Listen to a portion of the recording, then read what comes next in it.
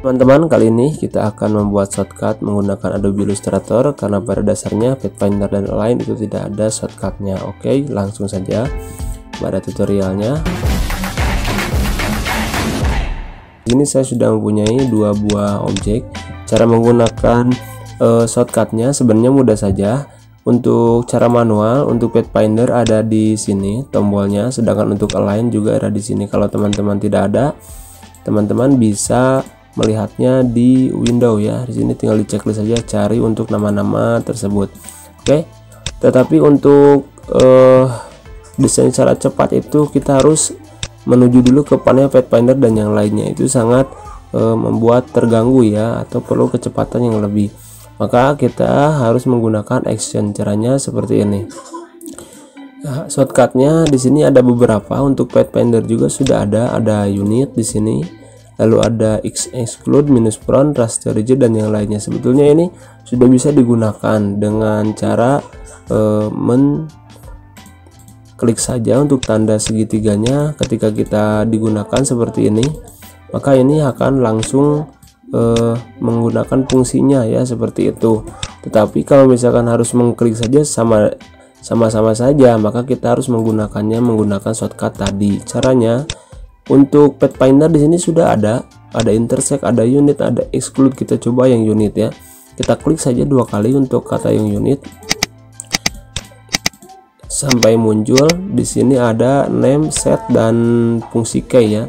Unit. Nah, misalkan kita menggunakan bahasa Indonesia saja misalkan menggunakan gabung ya untuk save actionnya di poll action dan di sini ada shortcutnya kita bisa menggunakan F2 sampai F12 ya tapi perlu dicatat bahwa kalau misalkan rekan-rekan menggunakan laptop yang di beberapa tombol ini ada fungsinya seperti laptop jika ditekan F2 menjadi kecerahan, F3 menjadi gelap dan yang lainnya itu tidak bisa. Ini lebih cocok digunakan untuk komputer ya. Contoh kita menggunakan F2 saja untuk unit. Kita klik dan oke okay, ya kita pilih keduanya lalu ditekan F2 dan ini menjadi unit ya. Jadi kita tidak perlu ke trans, uh, maksudnya ke Pathfinder.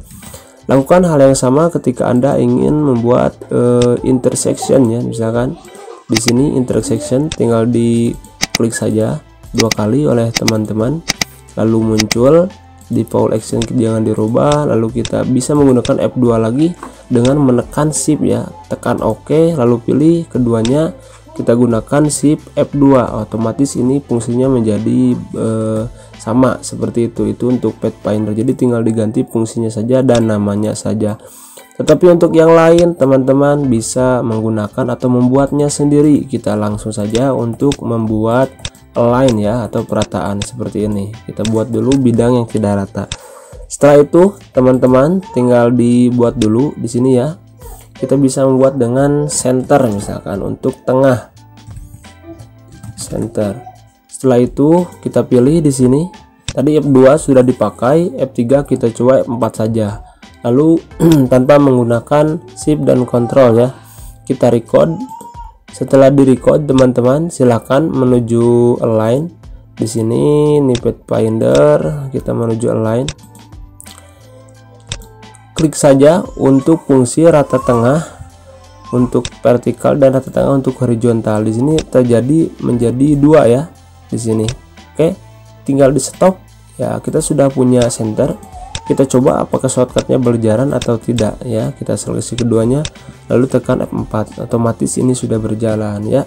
Jadi seperti itu caranya. Kalau ingin menggunakan uh, shortcut yang lain tinggal dibuat lagi saja.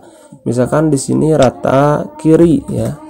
Kita tinggal gunakan tadi 4 sekarang kita gunakan F5 misalkan tanpa shift dan kontrol. Kalau menggunakan shift dan kontrol bisa saja tapi kita menggunakan yang simpel dulu ya.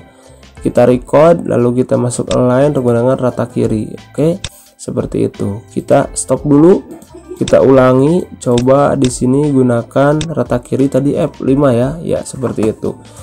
E, berlaku juga ketika Anda menggunakan align itu mengacu pada adbot ya. Misalkan seperti ini kita tadi tekan F4 ya maka mengacu tengahnya menuju ke adbot. Bahkan ketika Anda menggunakan F5 maka mengacu ke adbot ke sebelah kiri. Seperti itu Oke itu dulu untuk cara membuat shortcut untuk bercat pekerjaan Anda di Adobe Illustrator Terima kasih, mudah-mudahan bermanfaat.